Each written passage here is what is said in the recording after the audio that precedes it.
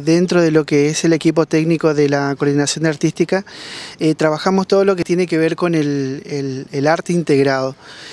Eh, en esta oportunidad estamos trabajando con herramientas teatrales que eh, nos brinda a la hora de, pararnos frente al aula, herramientas que nos permiten desplazarnos, tener mayor comunicación, que, las, las, materias no sean tan pesadas para ellos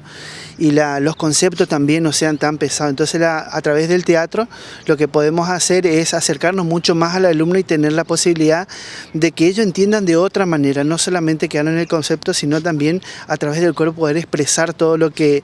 eh, el alumno de repente por ahí no entiende en las letras, en el texto, lo hacemos a través del cuerpo. Esa es la metodología que trabaja este taller y bueno, desde lo que es la,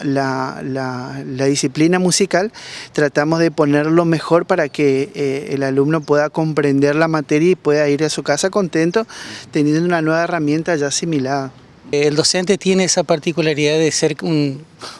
profesional creativo y esto le acompaña, es una herramienta importante, una herramienta metodológica importante en el, docente, en el directivo, porque la educación no solamente se centra en el alumno, sino en, en la institución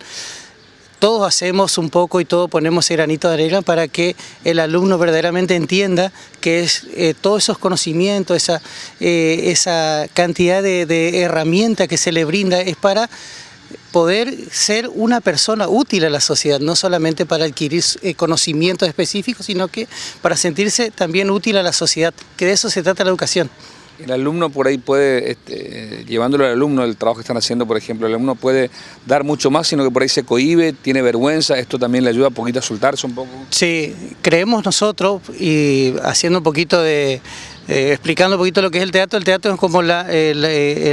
la conjunción de todas las, disciplinas artísticas, como que cierra todo, y el alumno con estos talleres lo que le, permite también es perder ese pánico escénico que por ahí tenemos, no solamente arriba en escenario, sino que frente al curso, frente a una exposición oral, frente a un trabajo práctico, frente a la defensa o al juicio crítico que pueda hacer, al aporte, porque todo es importante a la hora de la formación, porque la formación es general